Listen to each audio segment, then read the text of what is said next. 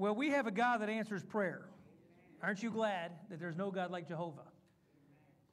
We're going to be in Joel chapter 2, and we're going to briefly uh, just take a moment in verse 17 as we're going to start. We kind of finished there last week, but if you weren't here last week, or if you were, it's as a refresher. You remember last week was a lot of uh, disaster. Uh, I think it's foreboding of Babylon that was going to come over and enter down into Israel and wipe out Israel. There was an army coming from the north. And it was predicted it was going to be terrible. Joel 1 was about the locusts and how the locusts would go in and eat everything. And I was thinking about that this week, as a matter of fact. Two weeks ago, we talked about Joel chapter 1. But for them to eat all those crops, who put those crops there? And then I thought the people put all that work, tilled the soil, planted the. Uh, uh, vegetables and what, what they were planting, the crops they were planting. They started seeing them come up and grow up and rise up and grow, and it was going to be a, a great year. Agricultural industry, you know, we're not set up like that, so it doesn't really maybe dial into us too much. We're going to probably talk about that a little bit here when we get to chapter uh, 2 in a moment. But they had done a lot of work. You ever feel like you've done an awful lot of work? You've done the groundwork, you've done the everything you're to do, and then all that you did amounts to nothing? That's worse than not even doing anything. It's worth, if they eat your grass is one thing, if they destroy your garden, it's another, you know, the locust. So eh, eh, we saw that in Joel chapter 1. Joel chapter 2, I think, is talking about a great army coming in in Babylon. It says a great army from the north was going to come. And then, of course, as I mentioned last week, Joel 3 starts doing, uh, those things have happened in the past already. Joel 3 is, I still think, a future event of talking about Armageddon coming, the great and terrible day of the Lord.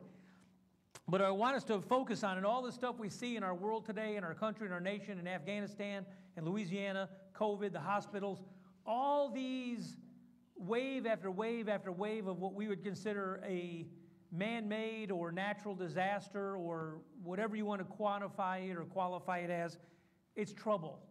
We wake up with anxiety, we go to bed with anxiety. We, we start just finding ourselves becoming numb you hear something and it's like, oh, well, that happens. And it's, it's almost numbed us from what's going on around us. And we pray, we pray to God and we ask God. But chapter uh, 2, verse 17, last week we closed with, and I want to pick up there together. It said, Let the priest and the Lord's ministers weep between the porch and the altar. And we talked about that last week. The porch and the altar in the tabernacles where the two uh, sacrifices were brought, and one was slaughtered and the blood was taken from that animal. The other one was uh, the priest would put his hand on the goat and the sins. They would take that goat and put it out in the wilderness, and that goat would turn wild and would stay away from people. That's kind of imagery of that our sins would be taken away to never come back. Well, we know because of the cross, we know what that image really is talking about. It's talking about Jesus, and as I mentioned last week, where John said, There is the Lamb of God. That's God's Lamb that's slaughtered, that takes away the sins of the world that all of our sins was, were laid on him and they will never return to us. Jesus fulfilled both sides of those two different animals at this historical setting for hundreds or thousands of years. The nation of Israel did. Jesus fulfilled that. And what I want to say is when we go there and we cry out to the Lord and we plead with him at the place of forgiveness, at the place of mercy, for us today, that would not be the porch and the altar, that would be the cross and that cross is anywhere in the world. Today is Evangelism Sunday. Amen. Today is the day of salvation. Today is if you're a saved, if you're a believer. Today might be your day of salvation where you just say, all these problems that are going on around me, I want to have a clear vision of Jesus Christ. I want a clear vision of where I'm in church here at Autumn Creek and what Autumn Creek is doing. And we want to see as we move forward and grow and mature as believers, we, we can have that comfort and we don't go through our lives full of anxiety. I, I say that anxiety is probably the most well received sin in the church today. Are we commanded in the Bible, fear not, be anxious for nothing? We get so many Christians I see go through our lives worried and torn up inside. And, and yes, those valleys happen, but at some time we got to get out of the valley and get up to the mountaintop and see the sunshine. I was talking to my oldest daughter yesterday, and we were doing some work, and she said, uh, started raining. I said, Boy, I hope the rain holds off. And she said, Well, you know, without rain, you never have rainbows. And sometimes those sorrowful moments are sorrowful because we feel what sorrow is, we know what joy is in the Lord. We, we see the sorrow, sorrow of the world and we see the anxiety and the fears of the world, but we have the joy of the Lord. That should be what drives us through our day. That should be what drives us in our interaction with other people. How's it go? Miserable. I'm this, I'm that, I'm scared, I'm worried, I'm this, I'm that. Aren't you a believer? Uh huh. What do you believe in? Well, I love this verse 17. I wish I would have spent more time on it last week. At the place of mercy, at the place of forgiveness, listen to the people's voice. Oh Lord, spare your people. I, I read that last week. I went over this week. I was doing some more reading on that. After all that's been told to them, a disaster that's coming, after all that's told to us in the newspapers, the news, what we see at work, here at work, what we see on Facebook and Twitterverse and all those other things. I don't know them all of them, but you know what I'm talking about. All the stuff we see that's always negative. Don't focus on that. Get on our knees. Lord, spare us your people. Spare us. And as I was meditating that week, this week on this verse, uh, spare your people. And I don't know if you've come to, saw this where I'm headed. I didn't see it till this week. I didn't see it last week. Romans 8, 31 and 32. You may not know the address there, but I'm sure you know the, the verse when you hear it. Romans 8, 31 and 32. What then shall we say? If God is for us, and He is, who can be against us? And the next verse, He who did not spare His own Son. We're crying out to God to spare us. And He answered that prayer. I will spare you. It was my son. I will not spare my own son for your sake. You know how awesome that is that God, when we cry out to Him, save me, spare me? Okay, I'll answer that prayer in the affirmative. Son, you're not going to be spared. He who did not spare his own son, but he who delivered him over for us, how will he then not also with him freely give us all good things? When we ask God for comfort and to spare us and to save us and to help us through our day, those verses right there say, when you understand that God would not spare his own son to answer that prayer for you, is there anything you think he won't answer? God save me. Okay, son, you die for Dale. God, help me get through the day. Oh, that's, that's small, easy for the God we're talking about. We sang a moment ago, there's no God like Jehovah. We sing it here. We know it here. We've got to let that get deep down into us in here. There's no God like my God. There's no God like that. There's nothing out there in the world I need to be worried about at all. Because there's no God like my God. He's God. So as we move down here, that, I want to just start there, like I said, in verse 17 to get us primed kind of for what's coming here in these next few verses, 18 and following. If we go to the Lord and cry out to Him for forgiveness, spare us, save us, we repent of our sin. We repent of our negativity. We repent of our anxieties and our fears. We repent of that. We're going to put our trust in the Lord. Um, and, and then there's two things they actually ask. I'm sorry, on verse uh, chapter 17, uh, chapter 2, verse 17. They say to spare us. And then the second part of that verse in my Bible on the next page, it says, And do not make your inheritance, do not make us a reproach among the nations. And that's what he's kind of alluded to. When we go out in the world and say, I'm a believer in Jesus Christ, but I'm miserable, I'm sad, I'm scared, I'm worried about everything, I don't know about this, I don't know about that, hurricane, COVID, mask, no mask, vaccine, no vaccine, ivermectin, all these, uh, what are we telling the world? I think to a little degree we may be saying, my, I don't know that my God can get me through this, and that's why I'm so worried about it. So what they ask here is spare us, save us, and let us not be a reproach. Don't let the nation say, ah, look at Israel's God. Look what the condition they're in. Locusts came in, ate everything. They're miserable, they're sad, they're broken down, they're complainers, they're negative. They're saying, God, don't do this to us because the nations around us will besmirch your name. Well, as we go through our lives, we got to say, God, I don't want to do something or live in fear or tell people, yeah, I'm a Christian, but I'm scared to death of everything all the time. I don't want to go out and witness. I don't want to do this because I'm scared. I'm scared. I'm scared. What does that tell the world about our God? I'll, I'll know what it tells them. Hypocrite. I thought you trust that God. I trust Him to get me home to heaven. Do I trust Him in my day to day here? So there are two things there spare us and help us not be a reproach to your name. Does God want his, the name of His Son, Jesus Christ, glorified? So when we pray that prayer, we're in alignment with God's will. You don't think God will withhold that from happening? if we go to Him and cry out to Him? And the answer is yes, He will do that. He will let us be a people that say, That's the people I want to be with. Those people seem to know what they've got. They've got something good going on about them. And then we can bring them in. They said, We don't want to be a byword among the nations. Why should they, among all the people, say, and then it says here, Where's their God? They talk about this God that's all powerful, all controlling, but they live like they're scared to death of everything. Well, where's their God? We, have, we can't live that life. Verse 18 says, Then the Lord, if we come to this place where we say, God, I not only say it here, I not only sing it here, but I believe it with everything in my being. There's no God like Jehovah. I'm going to live my life according to that principle. There's no God that protects his people like you do. I'm going to move forward in my life. It says, at that point, then the Lord will be zealous for his people. And that, ze- that zealous or jealous, depending on your translation, it says either word. I know in, in normally we say that's a negative word. So is jealousy good or bad? Most of us probably say probably bad. What it means here is to have a uh, demand and exclusive relationship. When we're submitting to the demon of fear, we're not submitting to the God called Jehovah. When we submit to the negative aspects of this world and the systems of this world, we're not yielding to Jehovah. And he says, when you come to that point where I, I, am your only God and you put no God in front of me and you live your life according to me, I'm going to demand an exclusive relationship with you. And that's what he did with Israel. Israel was chasing foreign gods. They were, yeah, God, we worship you, but we also worship this God and this God and this God. And God said, I'm going to have an exclusive relationship with you. A wife has a right to be jealous of her husband, and a husband has a right to be jealous of his wife. That's a covenant relationship. And in those relationships, the other person has a right to say, I have an exclusive relationship with you that no one else has that relationship with you. And that's the relationship God, Jehovah, wants with us.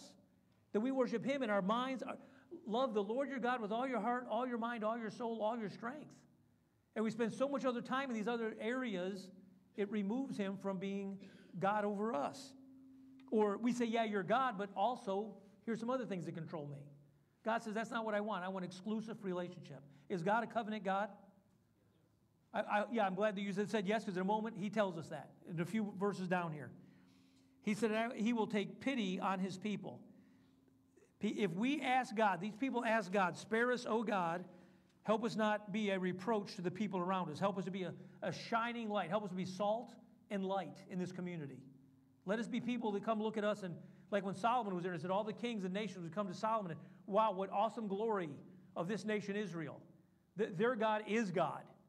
It went from that to your reproach among the nations. Oh, you don't want to be like a Jew. You don't want to be like those Israelite people. You want to be like them. Look what misery they suffer. And they're saying, don't let us be in that position, God, not for our sake, but for the sake of your name, for your great name.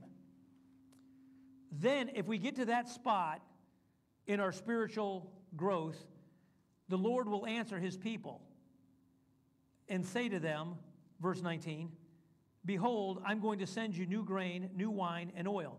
What did he take away last week? Grain, wine, and oil. He said, Those things that I took away from you to get you to come back to me, if you do come back to me and repent fully, where I have an exclusive relationship with you and I am God and you live your daily life by me or with me in it or with me in the forefront of your thoughts, if you come to that position, I will restore all those things I took away from you because I want to give you good gifts. Jesus said in the New Testament, we're sinful people. If a son asks his dad for a fish, does he give him a, a snake? Or does he ask for bread, does he give him a rock? He said, No, parents here on earth, sinful parents, give our children good gifts. How much more our Father in heaven when we ask for good gifts? Does God know that we need food? Does he know that we need drink, water, or whatever it is? He knows we need those things. He wants to give them to us. He said, Because you're over here sinning, I'm going to start taking stuff away from you until you have nothing left but me. I will get an exclusive relationship with my people. I will start taking things away from you till you say, I have nothing left but God. I hear, I've heard many people in my life say, it got to a point where all I could do was fall on my knees and cry out to God. That's the point God will bring you. He will bring his people to that point if he, if he needs to. It's not his will, that he's not his desire that we go that far off, but he said, I will have a personal, exclusive relationship with my people. But once we get to that point of God, you are our God, the blessings start coming the safety, the protection, the security. So he says here, I will, in verse 19, I just read it, the Lord will answer and say, Behold, I am going to send you grain. this is first person. If you notice, these the words of the Lord came to Joel and Joel said. If you notice, you may not have noticed, this is first person indicative. It means God said, I personally, I'm speaking now, and I will perform an action in these verses.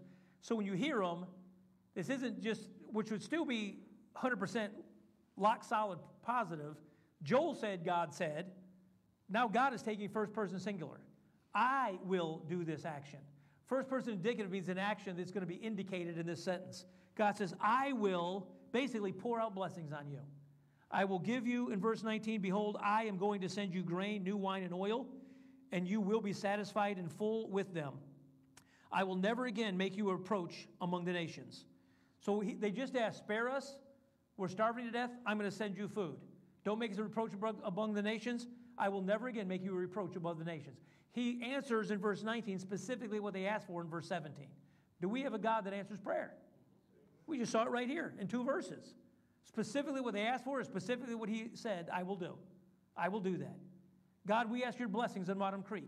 God, right now, I ask your blessings on every member, every visitor, everyone at home watching. Number one, they come to the salvation message of Jesus Christ, your Son. Number two, you pour out blessings, you pour out comfort, you pour out health. Everything we cry out for. Lord, I'm asking you, I'm, I'm pleading with you, God, please, at a place of mercy, we're asking for your blood to rain down on us and your blessings to pour down on this church. For every person that's here today, I believe God's going to answer that prayer. We saw he just answered their prayer. Why would he not answer ours? Well, he answered in the Bible. He answered their prayer. I don't know if he'll answer my prayer. He'll, he will answer. He's a good God. There's no God like Jehovah. We just sang it. I'm going to probably mention that several times today. We just sang that song. We know it. It's got to get nailed deep down into our spirit. There is no God like my God. There's no God like Jehovah. And then he says, I will, but I will remove the northern army far from you. This is the verse that would indicate the Babylonian army. I mentioned this back in Joel 1. People say, well, Babylon's east of Israel. The Bible's got a mistake in it. It says the northern army. We got all these mountain range here. They're much like uh, the mountain, our Rocky Mountains. And when Babylon came over, guess what they had to do? They came straight down from the north. They would have been the northern army. So I will remove the northern army from you. And remember, because Israel had no uh, food, the locusts ate everything, all four. We mentioned the four different kinds of locusts. Could be different species, could be different stages of their maturity the jumping locust, the eating locust, the gnawing locust, all these different things. Th- this army that was going to come in was going to make Israel a parched and land with nothing in it. I mentioned a few weeks ago where Israel is on the map. You'll notice it connects Africa, Asia, and Europe. There's three continents connected in this little swath of land. And over the years, there's been thousands and thousands, if not millions, of people killed in warfare in that little place of land. When we get to chapter 3, uh, we're going to probably allude to the valley of Megiddo is right there. I, think I may have mentioned this last week. Uh, like we would have like foothills and hills and mountains in English. They have different words for different levels of size of mountains. Uh, means like big mountain, and then like a foothill would be a tell, and maybe like a little bit smaller mountain would be a har, H A R. It means like a small little mountain. Well, guess what? If you're looking at that mountain outcrop over the valley of Megiddo, there's a place you can stand on called Harmageddon. It's the outcrop that looks over that valley. And I think we all would be comfortable with knowledge of Revelation, what that means. There's going to be a future war come to that area. But he says, as I remove this northern army, and they made your, the locusts made your land desolate, this northern army, when Babylon comes down, they're going to take everything, the gold, everything out of the temple. They're going to destroy the land. So, rightly so, God says, here's what I'm going to do to your enemy. They gave you a parched and dry and distraught land. Verse 20, but I will remove the northern army from you, and I will drive it into a parched and desolate land. God said, Well, your enemies have put you through, I'm going to put your enemy through. The, the very respectfully, I use this word, but the hell that the devil has put you through in your life, guess where the devil's going one day? Permanently. God says, Oh, you did this to my child? Guess what I'm going to do to you, devil? That day's coming. You've heard me say it before. When the devil brings up your past, bring up his future. Devil, I know what I was back here. I know what I was here before showed up, and I know what I was after Jesus showed up. Sinner back here, sinner saved by grace here. Very humbly, I'm still a sinner. We're all still sinners. We all still sin. But we're sinners saved by grace. His son, he did not spare. He covered me in his blood. Satan, you got a problem with what's going on? Go talk to Jesus. When I kneel down and repent of sin, Lord, lead me in your path, conform me to the image of your Son, all that protection comes over you. Devil can't lay a hand on you unless God let, allows him. Even then, God says everything that happens to you has been sifted through his fingers. I love that story of Job where the devil goes to God and says, Can I do this? Why do you think the devil's asking God, Can I? Because he has to. He doesn't have any power over you if you don't give it to him. And God has to allow it to happen. Devil can't do stuff to you. And, and I always say the reason you read all that book of Job, Job 1 1, I've said this many times before. There's Job 1 1. We say, How did Job get through that? Job 1 1 gives the answer. There was a man in the land of Uz whose name was Job, and he was righteous before God. When you can stand righteous before God, you can get through anything. Talked to a person this week that said, uh, very, very, you know, and I've heard it too, and I said, I heard it. They said, God won't put more on you than you can bear. Have you ever heard that? Yes, He will. He will put more on you than you can bear, but He won't put more on you than you can bear with Him at your side. When you got that load on you and that yoke on you and it's weighing you down, is bringing you to your knees, and you look over and you see Jesus, and Jesus saying, Keep going, brother, I got you, man. Keep going. I'm with you in the yoke. I'm alongside of you. I'm here with you. I'm Emmanuel. God is with us. You can do this with me. You remember that show years ago called The Bear? Where they had that little bitty baby cub bear, that mountain lion was going to kill it. I see a couple of your heads doing this. And that little bear got up and, and behind him was like a 12 foot Kodiak that raised up like this. and then that mountain lion ran away. That little, little bear was, ooh, look at me. I scared that mountain lion away. well, guess who's behind you?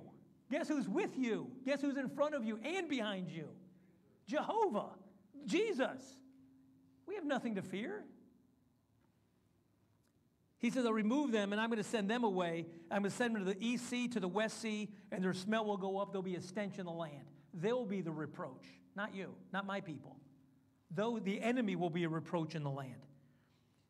Verse 21. Do you think God wants us to fear according to verse 21? Remember earlier we said back here in a few verses earlier, the passage said, earthquake and tremble. It, it, humans were first trembling and worried and scared, and you know, with the day from because of the day of the Lord, because judgment was coming.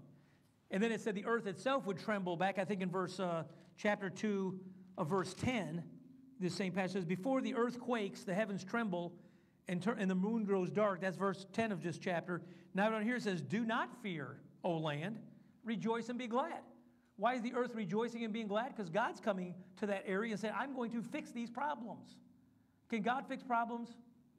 What was our biggest problem? Every human being has a major problem sin and death. No one escapes it. Nobody. I, I was down here praying. I wasn't sure I was going to share this, but I'm going to. I had somebody call me this week, uh, another prison I've never been in. There's a gentleman there, he's on death row and the, the warden called me and said, I heard you'd be willing to come talk to this guy, would you? And I said, yes. I'll come talk to him. I probably, I'll get through it, but I'll probably start crying. But this guy's, he, he's got a death penalty in the, in the nation he's from. He's got a death penalty here. And he said, if they send me back to the nation I go to, I probably won't leave the airport before I'm killed. They take you around the corner, pop, pop, pop. And he said, I'm going, I think, next Thursday back to the nation I'm being sent back to. And I've been a devil worshiper. I killed my first two babies. I ate the, my third baby, my wife and I, my, my, or my, my second baby, we ate. My third baby, his mom is a witch. And I've been sitting here reading this Bible, and I need Jesus. He said, I'm dying in a week or two.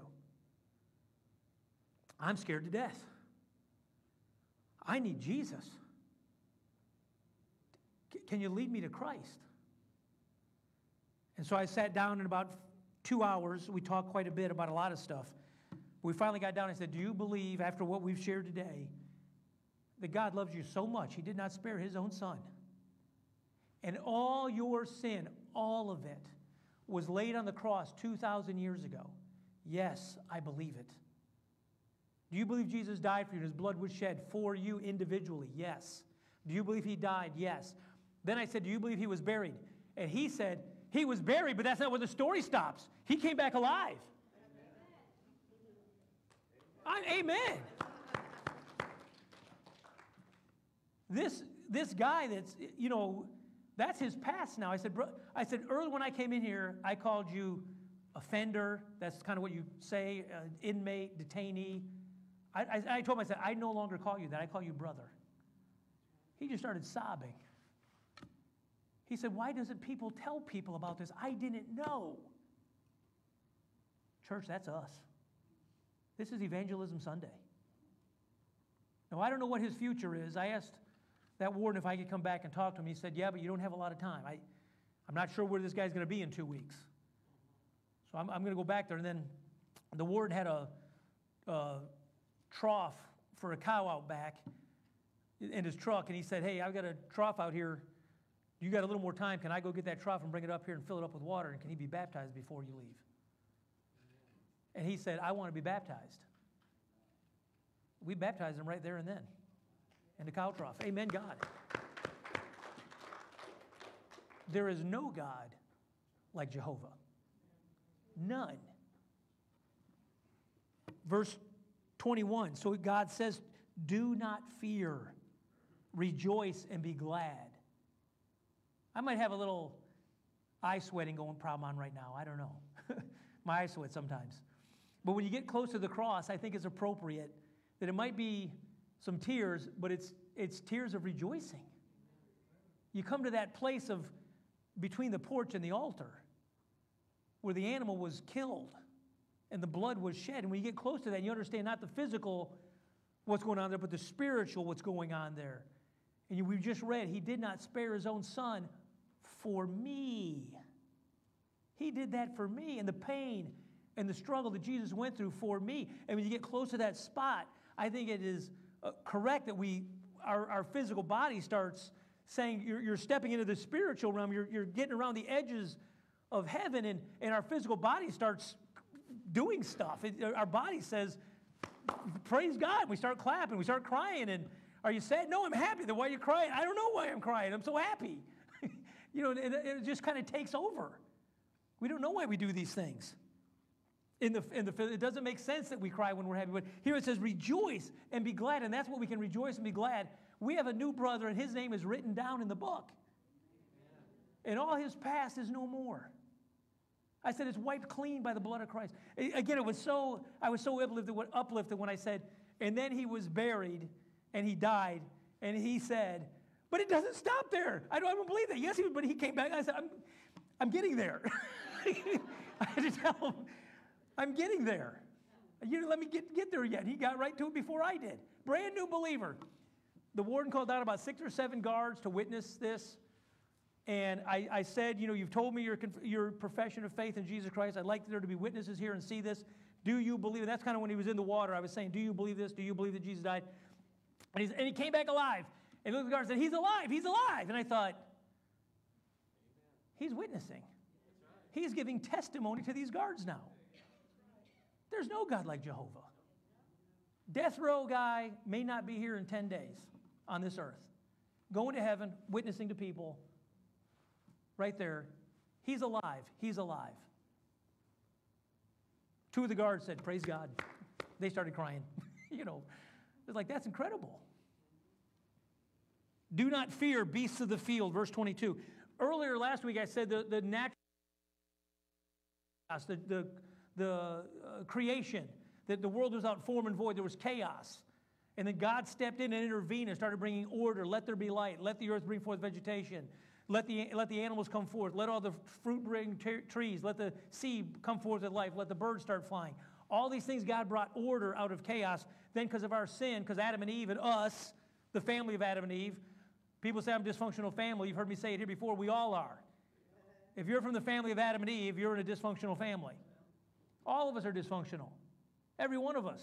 We don't work right. We don't think right. Even after we, we're saved, we don't think right and act right.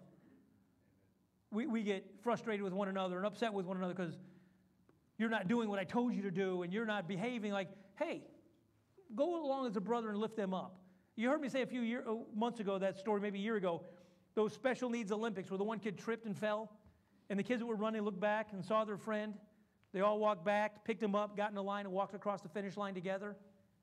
That transcends sports. Because we see that's, that's, that borders the divine again. That's someone who's in need, and all these people just stopped what they were doing and went and grabbed that person and picked them up. And that's what we're about. picking people up that fall down or in the ditch and picking them up and crossing the finish line into heaven together. So we see here it says, Do not fear, O land, rejoice. Do not fear, beasts of the field. Because of our sin and the world was put into chaos, God's restoring order. The earth doesn't have to quake anymore. The, the animals of the field don't have to be worried and scared. Do not fear, beasts. The pastures of the wilderness have turned green. You think those animals that looked at that dead pasture with nothing on it, the locust ate everything, it was all gone? Those animals just started walking aimlessly looking for food. Just in a, in a parched and dry land, barren land. He tells the animals, Don't worry anymore. Food's here now. The fields are coming back. The pastures are coming back. The tree has borne its fruit. We saw last week the trees were going to be wiped out. All the fruit of the trees are going to be no more. In verse 22, God says the fruit of the trees are going to start bearing fruit again. The fig tree and the vine tree have yielded its full. So rejoice, O sons of Zion, and be glad in the Lord your God.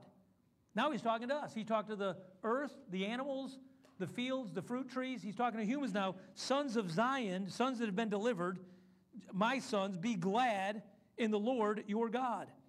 For he has given you the early rain for your vindication, and he has poured down for you the rain. Again, we don't get what's going on here necessarily. We're not agricultural society. The early rains in the spring, what do Mayflowers bring? I know allergies and hay fever, but beyond that, what is? April showers bring Mayflowers? When the earth has water on it in the springtime, it softens the dirt, softens the earth, seeds can get in. The, the ground is not like clay, things can burst up through it. So those early rounds bring vindication. Hey, they got early rains. The early rains are going to, things are going to start changing when those rains come. In the spring, we know when those rains come, the fields are going to start turning green. Flowers are coming up. You start seeing little baby uh, squirrels and birds maybe fall out of the trees, and you try to revive them back a little bit, or little, all the life comes alive. Then the later rains are for pulling the crops out and getting that last bit of rain as latter rains. We're going to talk about that in just a minute. So those early rains vindicate. When God sent the early rains, the nation said, Israel's got rain again. To them, rain means fruit's coming, produce is coming, agriculture's coming. That's what the rains bring. So when God sends the rains, it's not there yet, but it's coming. So if you have years of locusts, you say, well, back here I was in this and this and this, and I wasted a lot of time. And I wish I, I've never met a Christian that said, I wish I would have waited 10 more years before I came to Christ. I've never heard that. I've heard often, I wish I would have got saved as a young person. I wish I would have came to Christ young. You young people back there, you have, you, you have, I'm so jealous of you sometimes with your youth. Probably many of us are. You have your whole life ahead of you. So many here in this room, we're not going to, we could say, I was 30 before I came to the Lord. I was 35. I had, I still suffer from things I did back here that although I'm saved and things are going good, I still have things I'm dealing with back here. I wish I would have got saved earlier. I've never heard I wish I would have got saved later. I have heard it the other way. I wish I would have been brought up in a godly home. This guy, this I told you about a moment ago, he said, Why did no one tell me this? I didn't grow up knowing this. I wish I would have known this. He said, If I'd have known this years ago, my whole life would be different. Would have been, had he known years ago. But he didn't. Praise God, though. Doesn't matter. Anyone that calls the name of the Lord will be saved. Do we all agree with that? So, he's, so now he says, Sons of Zion, be glad. He's giving you the early rain. They see the rain coming, you're going to be vindicated. People say, their God is blessing them again. Why? Because we see it on the horizon. We see the rain coming in. We know God's doing a work in Israel or in his people. Verse 24 the threshing floors will be full of grain, and the vats will overflow with the new wine and oil. These are specifically the things in chapter earlier in chapter 2 he took away. I'll take away the wheat, I'll take away the barley, I'll take away the vines, the grapes, all the stuff I'm taking away. Now, these places of what we would call production, he says they will be full. The fields will be full, your, your production lines will be full, your vats will be full, the granary will be full, the threshing floor will be full. Everything you have is going to be full. Lord, we want a bigger threshing floor and a bigger vat, I guess. If it's going to be full, give us a bigger one so we can take more. My cup runneth over, yes? God takes care of everything for us. So it's, uh, I did want to mention briefly here uh, in verse 26 and 27. Well, we're not there yet. Let me get to verse 25. 25, I will make up for you the years that the swarming locusts have eaten. Can you, if you make $20 a day and lose it, can you make 40 tomorrow and make up that 20? You can make up money. Yes, yes, you can. Can you, how do you make up time? If you wasted three hours yesterday, how do you make up three hours today?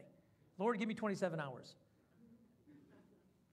Yeah, so what it says here, there's really a miracle here when it says, I'm going to make up the years for you. This tragedy, as we mentioned last week, when he ate all the stuff, it ate also all the food for them, it ate all next year's crop. This was probably a two, three, four year problem Israel went through. This dry, barren, starving. It's, it went long enough. Remember, it said last week or two weeks ago, we talked about there was no more offering for the priest. The sheep and the goats and everything died. There was, there was no animals to bring in anymore because they had no food. This was a multiple year problem, and God says, I will restore those years. Saying, I'm going to bring you a bumper crop of produce, I've seen that in my life. You know, you've probably seen where you watch some of the news that said, boy, there was a bumper crop of tomatoes this year, or a bumper crop of beef, or a bumper crop of, you know, just for whatever reason, we had a lot of it this year. I've never, and next year you're going to have 385 days in the year, and they're all going to be 30 hours a day. I've never heard time being made up. So when it says here, I'm going to restore these things, that's still a miracle. God said, I'm going to do it. But then he says, I'm going to restore your time. And you might be saying today, what are you talking about? When you wish you would have got saved back here at 20 and you didn't, you waited till you were 30 or 40 or 50 or maybe you're still not, God says, those years of production that you wasted back here by not coming to me, I will make them up here. New Testament, Jesus says some will bring 30, 60, and 100 fold, right? Three years of 100 is the same as 10 years of 30, right? God might say, You might have brought 30 people, 30 people, 30 people, had righteous fruit that lasts, people to, but you lost those opportunities. I'll make them up. This is the time for you to be on fire for the Lord. In season, I think Gideon a moment ago, you said there was a time for this, there was a time for that. We didn't get to it. You were talking about Ecclesiastes back there with me. Uh, and we, and, but I said, but I, I, love that verse. I think in, I think it might be Philippians. You said you're going to do Philippians now, where it says, uh, um, I completely lost my thought. If you're watching home, we'll edit this. This won't be on the, the live feed. but, uh, but he says, in season and out. Oh, no, Timothy. He's telling Timothy, in season and out of season, preach the gospel. How do you expect an orange tree to produce oranges in, in, in June? They're a, a more of a, a, winter fruit going into the fall and early spring. But how do you expect it? It says you can't. But we're told God's going to restore those years, your production. The fruit and the vine and the wheat that was taken away, God said, I'm going to restore that. Your, your areas of production, I will restore. As Christians, what is our production? What's our fruit? Produce other Christians, make disciples, and do the, the fruit of the Spirit love, joy, peace. I'm going to restore those things and make a bumper crop for you. This is the, the mindset we have to have as believers in 2021 here in Houston, Texas. God, we are asking you to pour out abundant blessings at Autumn Creek. We're asking you to pour out abundant blessings on the members, the visitors, our community here of Autumn Creek. Let us be a bumper crop to our community that they say, wow, boy, I, I, want to, I don't know what's going on over there at that church, but I want to be part of it. I want to join in. I want to see what's happening. You know how blessed we are this last year with COVID, what's going on around the churches around us? I've talked to pastors. We're shutting down. We, we try to get the church up again. It shut down again. This one, that one, the other one. We're, we're going to the bank for money just to keep us afloat. Our ties are down. Folks, we're do, you may not know, we're doing okay here. Look around today. we are averaging, I think, uh, Robert uh, Clough said, I think like 114 or some number, right at 100. Uh, we've done $50,000 of repairs in our building here in the last several months. We had 100 in the bank, and praise God, one of, I'm going to say our little young women in our church, I don't want to say little old women, I won't say that. One of our little young women in our church uh, that Sunday after uh, Tithe Sunday, we preached on tithing, came and said, you know, here's 50,000. We're back to 100 again. We're doing pretty good, guys. God, I think God is pouring out bumper crops of blessing. We can kind of see Him on the horizon coming. The rain's coming. The blessings are coming. New people are coming in. We got a group of 30 year olds and kids. And when I got here, we didn't have a whole lot of that group. We, we see blessings on the horizon coming. We've got every reason to be the most optimistic people in the world. We're Christians, and secondly, we're Texans. We've got so much to be grateful for. so, God here in verse 25 says, I will make up for you all this stuff that you have regrets for. God says, Stop this. Stop regretting. Stop it. I'm God. I'll make it up for you. That, that stuff that you've put your time, your trouble, your energy, your kids, your grandkids, your, your marriage, I know it's a mess, but come to me, fall down, cry out to me. I will fix it if you will cry out to me. Verse 25, then I will make up for you the years that the swarming locusts have eaten, the creeping locust, the stripping locust, and the gnawing locust. He could have just said the locust, but when he said earlier about what's going to come take it all, by here mentioning every one of those locusts, it's a complete reversal of what happened. He could have just said the locusts and left it there. But by him taking this, uh, by the Lord saying, I will, this is first person again, I will uh, make up for you with this locust, this, all these problems, I will make them up and make good for them. And then also, just so we're not confused when troubles come, troubles come for two reasons to a Christian to grow our faith, count it all joy when you're fall into various trials and tribulations and troubles because it grows your faith. The second one's discipline. God, I think right here is easy to miss. God's saying the trouble you're experiencing, my people, it's not haphazard. The creeping locust, the stripping locust, the gnawing locust, my great army which I sent among you. The, the negative was God too. Do we all see that? It's easy to read over that. God saying, I want you to be clear. These hard times didn't come because they came. They came because I sent them. Do you think he's trying to get our attention? I think he's trying to get our attention. The troubles you're having, I let those troubles happen. I allowed them to get you to a place where you cry out to me. Because you did cry out to me. You came to that place of repentance and forgiveness. And even if you're a current Christian, that place today would not be getting resaved, it would be a recommitment or rededication or a refocus. Or God, I know I've got these sins in my life. I know I've got these negative feelings. I know I've got this anger. I know I've got this spirit. I've got a, a foul mouth, whatever it might be. Lord, I repent. Cleanse me of this sin that I'm dealing with. Clean it. Purge me from it. Get me back to be the child of God that you want me to be. Keep conforming me. When we get to that spot, God says, I'll take care of everything. I've quoted this verse several times and we all know it. Seek ye first the kingdom of God and his righteousness, and all that stuff will be added. You don't have to fight for it. You don't have to work for it. You're going to strive for it. We have to fight, work, and strive for God's kingdom and his righteousness. If we get that, God says, I'll take care of everything else. You don't have to do it. Now, not only does he say, I'm going to re- restore this stuff, I love verse 26. You will have plenty to eat and be satisfied. Is he a God of just enough or is he a God of plenty? According to here, it says he's a God of plenty. He goes, I'm going to give you just enough to get by. I'm going to keep you just barely broke enough where you're not starving to death. But that's not what he says. What he says here is, I will give you plenty to eat. My only regret is they didn't have any bacon. But he says, I will give you plenty to eat and be satisfied. Sorry. Okay. And, pra- and, you will, and you will praise the name of the Lord your God. What is contingent on this? The two things at the beginning of this passage was we come to that place of God, you're God, and I'm not. I don't need to be in control. I don't need to make big plans. I don't need to micromanage everything in your kingdom. I just need to be still and know that you are God. I need to be listening to that still, quiet voice. I need to follow your lead and do what you would have me do humbly. Seek justice, love mercy, walk humbly with God. What is required of man? Seek justice, love mercy, walk humble. I want to get puffed up and prideful and be in charge of everything. God won't bless that. I was, I was reading a few weeks ago. I would encourage you, if you get a chance, read Genesis 11 and Genesis 12. Those chapters, they're not just numerically side by side, they're, they have a, a joint meaning. The people say, Let us do this. Let us build brick. Let us find a city. Let us find a valley. God tells Abraham in chapter 12 of Genesis, I will lead you to a land. I will build up your name.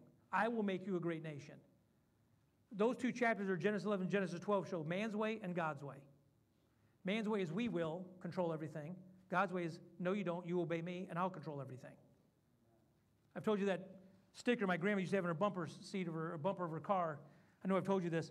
That says God's my co-pilot. And as a kid, I thought that's pretty cool. That's God's my co-pilot. As a more mature, I've said that was a wrong. God's my pilot. If you think He's the co-pilot, you're in the wrong seat. You will have plenty to eat. You'll praise God, the name of the Lord your God, who has dealt wondrously with you. Then my people will never be put to shame. You will know that I am in the midst of Israel. Emmanuel. God is with us. You will know. He says, here's three things. Um, verse 26b, there's a thing called an inclusio. We're not going to talk about this, but notice here at the end of 26, it says, You will never be ashamed. Okay? Do you see that bookend kind of? There's a bookend there. There's three things we're going to know. You will know that I am in the midst of Israel. I am Emmanuel. I will be with you. If you do these things, you will know that I'm in your midst. When you see blessings coming in, you will know that I'm in your midst. Second thing, I am the Lord. That's now that's Jehovah. He's using the four-letter tetragram, which the Jews won't say it to this day. But I am the Lord. That's I am Yahweh. I am Jehovah, your God. You will know that I'm your God. You won't be chasing this sports team, or you won't be chasing that sin or this bottle, or you won't have control. You'll know that I am your God. You will know that. And the uh, third thing, and there is no other. By the way, when he says the word Jehovah, whenever you see the word Lord capitalized, I've told you that means Jehovah. That's how we translate in English as capital letters L O R D. That's the covenant name of God. So, what God's saying here is, You will know I'm in your midst. You will know I am in covenant with you. I am in the covenant God with my people, and there is no other. Remember, we said this God is jealous, He wants an exclusive relationship. He's telling us when, when you come through these processes, it, I would say it's never God's fault, it's always us. We want to get puffed up with stuff, and God said, I won't bless that. You've got to come to that place of forgiveness and knowing that I'm God, I'm in control. And if you do that, I will restore everything. I'll restore the years, I'll restore the, the food, the water, the, the wine.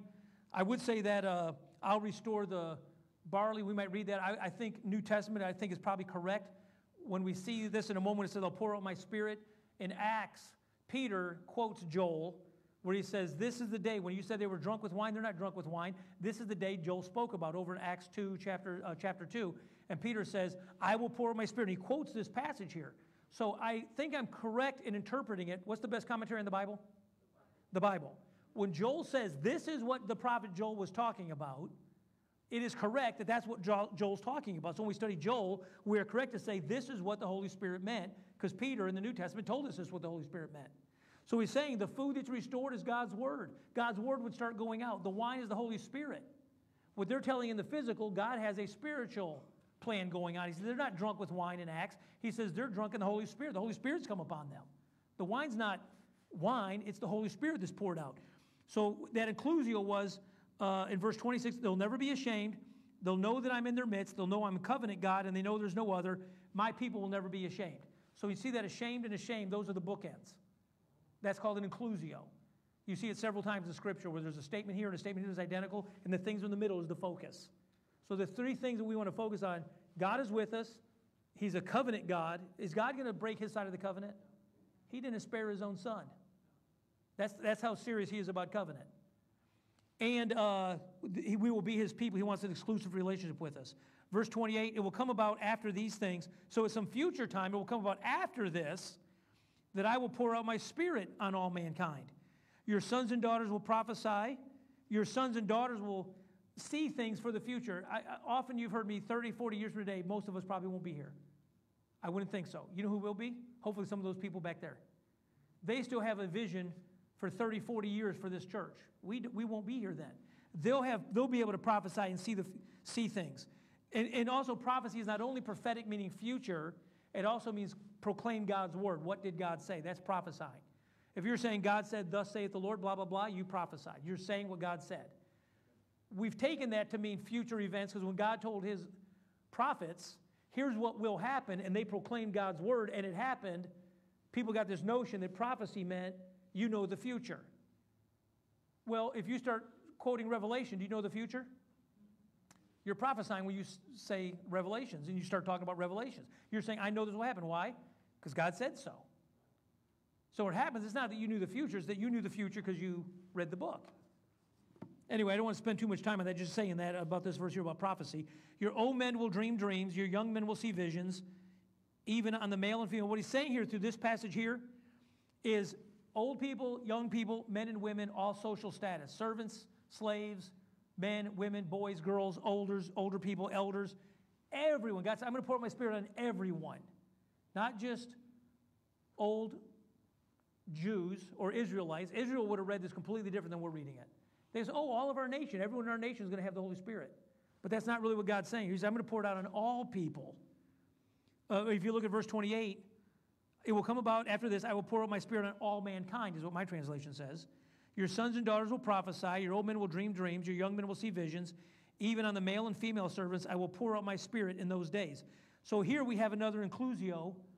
Pour out spirit on who? On everybody. Pour out my spirit. There's two inclusios back to back in this passage. Verse 30 I will display wonders in the sky and on earth, blood, fire, and columns of smoke. The sun will be turned to darkness and the moon into blood before the great and awesome day of the Lord comes. I think this is still now a future event, Armageddon coming. And it will come about, I love verse 32. No matter what happens, aren't you glad of verse 32? I see a couple hands out there doing this. Whoever calls the name of the Lord. You mean a guy locked up in prison with a death sentence who killed his two children, even if he calls out? Even if he calls out. Whoever calls out the name of the Lord, your translation might say will be delivered, it might say will be saved. For on Mount Zion and in Jerusalem there will be those who escape, as the Lord has said, even among the survivors whom the Lord calls. Whoever calls on the name of the Lord will be saved. There will be disaster and fear from what we just read there in verse 30 and 31 before the day of the Lord. Folks, I think that's going on in our world today. I think God is shaking the world up a little bit, trying to get people to focus on what's important. And with all the fear that's going on out there, we can join in that. And by fear, I just mean when, when you're afraid, oh, it's miserable, miserable. Yeah, you're right. That's what I mean by joining in. That, that's all I mean by that is you need to say, you know what? I know that's going on. There is trouble, but I got good news. That's how we that's how we change that conversation. We don't, yeah, it's miserable and this and that and a hurricane. I don't know what's going to happen. I have no idea what's going to happen. And I'll tell you, folks, I, I, I wouldn't be surprised if our church isn't part of, depending on what happens in Louisiana, maybe being part of helping there. You, you know, we might be able to do something. I don't know what's going to be bring stuff. I don't know if it's going to be. I don't know what the Lord's going to ask us. But don't be surprised if in a week or two we're not. Hey guys, can some of us have a collection or diapers or can we get some stuff over? I don't know. But don't be surprised about it. And so when if that comes, you're able to go. You want to get over there and sit and listen to people. I call it the, uh, the uh, gift of listening. They just want to tell you their story. We need people just sit there and I lost my home last year. I lost again. Just sit there and be with them. Hey, it's terrible. There's no way I can sugarcoat that. I'm sorry you lost everything, but there, I've got some good news. God's in control. You, you can, you can you, no one's promised a good start, but you're, you're promised a good ending with Christ. Let me talk to you about the God that I serve because there's no God like Jehovah, and God can get you through here. Well, there's no help. There's no, you know the perfect thing I've done in those situations? Why do you think I'm here? You say God doesn't send help? I, people say God doesn't. God won't send help. Ma'am, sir, what do you think I'm doing here? Oh, I hadn't thought about that. When you're standing to someone that says God doesn't send help, you say, I'm here in the name of the Lord. He sent me. They don't have a very good answer for that. Oh, well, what can you do? What do you need? I need water. I need food. I need diapers. We, we can get that for you. It's not from us, it's from the Lord. These are excellent times in the world we live in today with all the fear, with all the stuff that's going on. It's a, it is not, I cannot think of a better time for us to be as evangelical on, on Evangelical Sunday to get that spirit deep down in our bones and say, we're going to start lighting Houston on fire in a good way with the Holy Spirit. not in some of the ways other people have done, but in a good way. So I'm going to ask you to bow with me in prayer. And folks, if the Lord's working on you, if you need to come down here, stand where you are and pray, come down to the altar. Just seek the Lord's will, what's going on in your world, your family. Pray for the Afghanis, pray for Louisiana, stand where you are, come down, whatever you want. Really, I'd also, if you say the Lord's working on me and I need to come to know Jesus Christ as my Savior, I've, I know about Him, I go to church, I give tithes, I, you know, I, I would, I'm a Sunday school teacher, and I don't know that I've actually, actually made Jesus Lord. I want him as Savior, but I never made him Lord. I'm going to make him Lord. You might want to just, where you are, stand there and rededicate. Say, Lord, I've kind of veered off a little bit. I want to come back. You might need to come for salvation. You might need to come for baptism. You might want to say, I want a family of local believers. I want to join this church. I don't want to twist your arm and get you to do anything the Lord's not telling you to do. The only thing I'll tell you is the Lord's telling you to do something, do it. Obey Him, not me. Father, we thank you for this message today. We thank you for this book of Joel that, that is, is, it can be read as a disaster, but Father, it's also so encouraging that it keeps bringing us back and back and back that there's no God like Jehovah. Father, we do lift up the people in uh, Louisiana and the Afghanis, the uh, situations they're in and around the world today suffering. Father, let this little church here of believers, don't dismiss the, the don't dismiss the, the beginning of little beginnings. We may not do much.